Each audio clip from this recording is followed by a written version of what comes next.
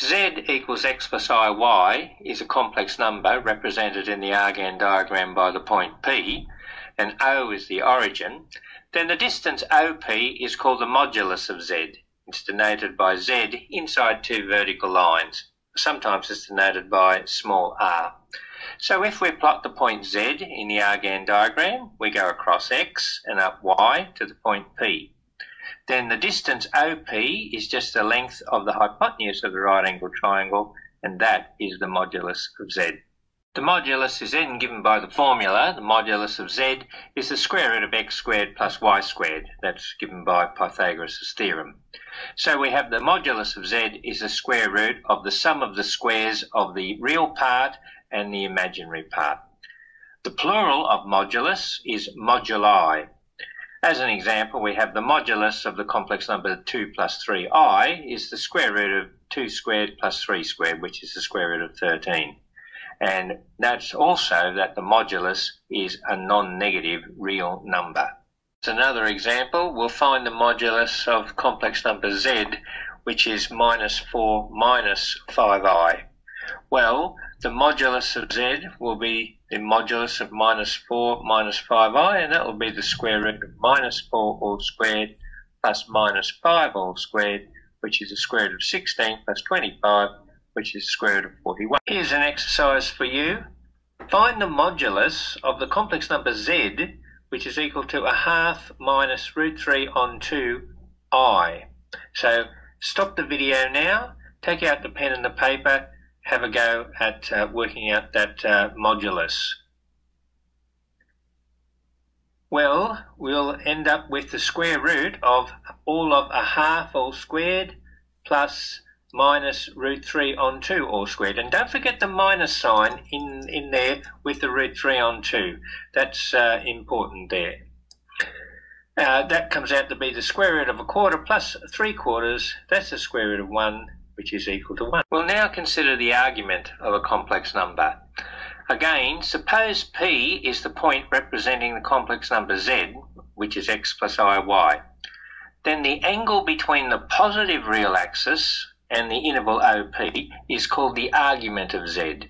It's written arg Z, Z in the brackets. In the diagram below, that particular angle is theta, and so the argument of Z is theta. Angle theta may be measured by going around more than one revolution in the anticlockwise, which is the positive direction. Hence, the argument could be theta, and on the next revolution, theta plus 2 pi, and another revolution, theta plus 4 pi, and so on. The angle theta may also be measured by going around more than one revolution in the clockwise or negative direction.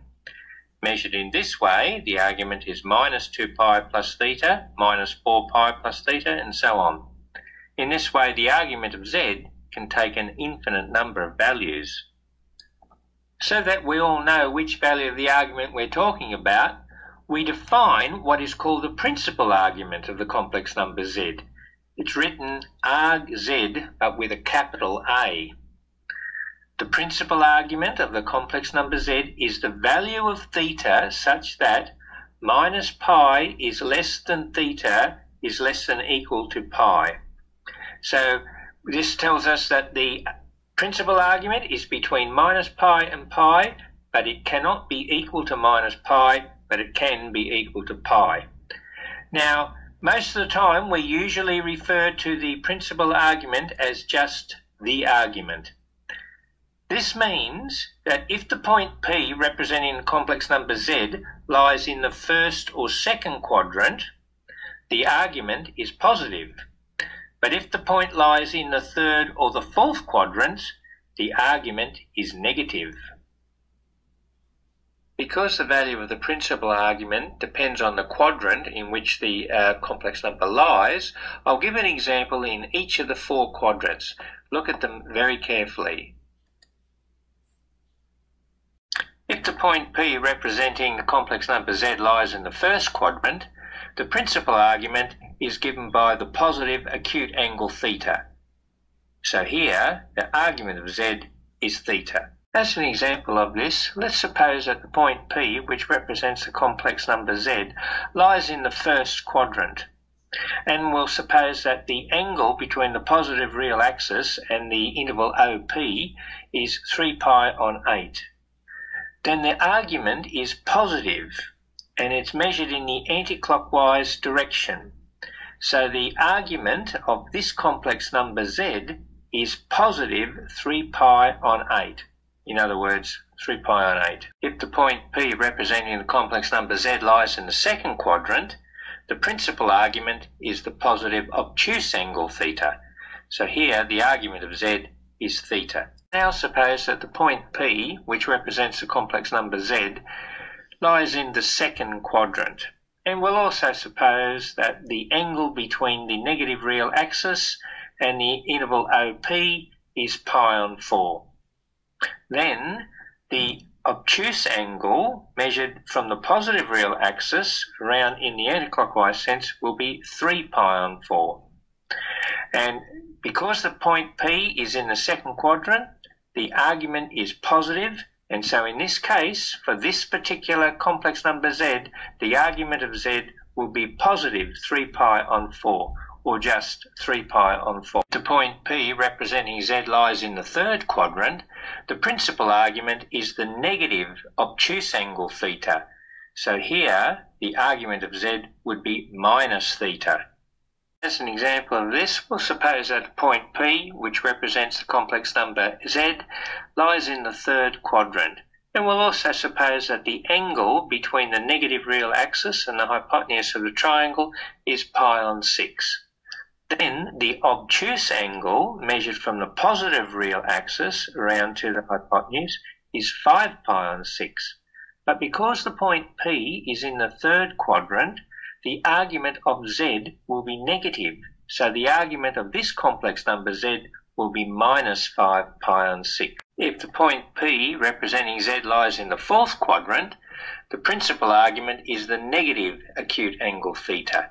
So here the argument of z would be minus theta. As an example of this case, we'll consider uh, point P representing complex number Z lying in the fourth quadrant, and we'll also assume that the angle between the positive real axis and the interval OP is pi on 5. Now, because the point P is in the fourth quadrant, we know that the argument is negative. Hence, the argument of this particular Z will be minus pi on 5. Here's a quick exercise for you. What is the argument of the complex number Z in this Argand diagram? The questions to ask yourself are, in which quadrant does Z lie and what is the sign of the argument in that quadrant? Answer, the third quadrant where the argument is negative. The next question is, in which direction is the required angle measured? Answer, in the clockwise direction. The next question is, what is the size of the required angle? and the answer will be pi minus 2 pi on 7, which is 5 pi on 7. Then you put these all together to give the answer argument of z is minus 5 pi on 7. Normally, I'd give some examples about how to find the argument of a complex number, but we'll leave that for the next lecture. That will avoid a lot of repetition there is one complex number which we regard as not having an argument at all. Can you guess which one it is? I hope you enjoyed lecture 2 and if you haven't subscribed already, please subscribe to our video. Now in lecture 3 I'll show you how to use the uh, modulus and the argument to write the complex number in a special form called polar form. And once we can do that, we can do lots of things with complex numbers, one of which is to find powers of complex numbers. So things are getting pretty interesting. Don't miss lecture three.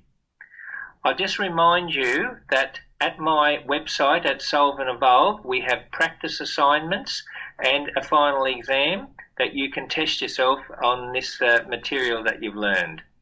Uh, we do charge uh, a small amount to uh, register, Uh, it's about the cost of a fresh cheese pizza.